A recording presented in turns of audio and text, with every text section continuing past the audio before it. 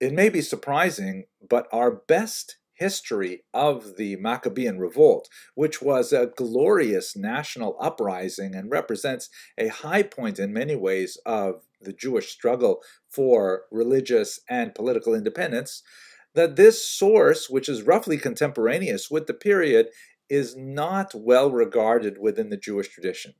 How do we know about the events of the Maccabean revolt? Well, we have three really important sources and a few other smaller ones roughly from the period as well. Let's look at the three most important. The first is the Talmud.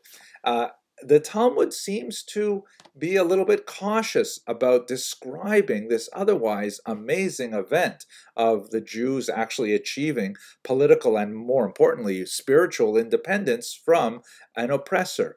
And uh, there are a lot of questions. Why doesn't the Talmud spend a lot more time talking about this? Why is there no tractate devoted to the holiday of Hanukkah, like there is, for example, to the holiday of Purim. In fact, Hanukkah it gets uh, just a few pages really in Tractate Shabbat, and it is in the context specifically of how to light the menorah. That's one of the biggest aspects that's discussed there. How do you ritually observe the holiday of Hanukkah? But as a historical source, it's somewhat disappointing. Uh, another very important source, but a very difficult one to use, is Flavius Josephus, who was kind of like the Oprah Winfrey of Jewish history in the first century. he was uh, certainly the most famous historian. Uh, he was a Judean general who first aligned himself with the rebels in the First Roman Jewish War of the year 66 to 73. And then, when he was about to be captured in a very dramatic episode, he turned coat and he joined the Romans. He rose to great prominence with the Romans, uh, primarily as a historian, as an official expert on everything Jewish for at first Titus, the uh, the general who was responsible for destroying uh, Jerusalem, uh, and then later for the Roman world as a whole. He moved to Rome. He wrote uh, a extremely important history of the Roman Jewish War, undoubtedly the most important history that exists.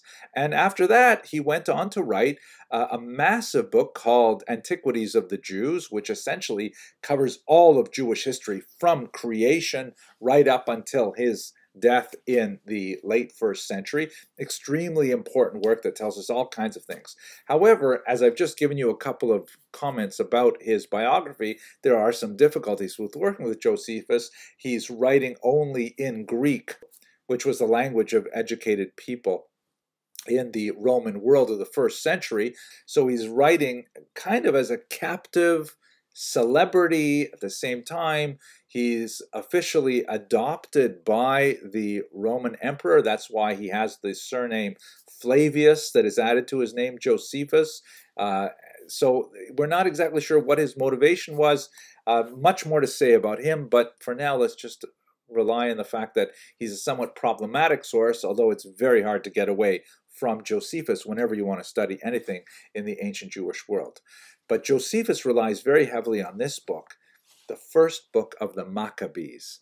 This is an amazing account which only existed in Greek. The probable Hebrew original has been lost. Uh, it was probably written by someone who had firsthand knowledge of the actual Maccabean battles, and it gives us an incredibly detailed blow by blow version of the events from the perspective of someone who was probably involved in the wars themselves from the Jewish side.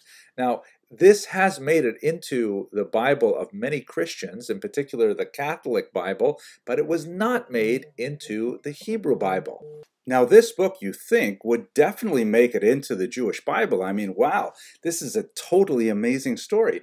But the rabbis, when they went through the canonization process, to determine which books made the cut and which books did not, they elected to pass on the book of Maccabees. Now, I hope to discuss this a little bit more in the next lecture, but the we should understand that the rabbis, oh, by this I mean the Pharisees, were not especially enthusiastic about everything that the uh, Hashmonaim, the dynasty that the Maccabees founded, represented. And uh, there's a, lot of questionable things about uh, whether or not they wanted to support and encourage and identify themselves with the Maccabees in every way. There are a lot of ambiguities that have emerged from the first and second book of Maccabees that you know made the rabbis think, you know what? This might not be the best thing to put in every beis medrash. So even though it was included in the Bibles as formed by Christian groups, the Jewish Bibles do not include the book of Maccabees, and you have to read it like on Wikipedia or someplace like that. Nevertheless, the book of the Maccabees is absolutely fascinating for our purposes and is going to give us a lot of historical depth and a rich understanding of what was happening during this tumultuous time.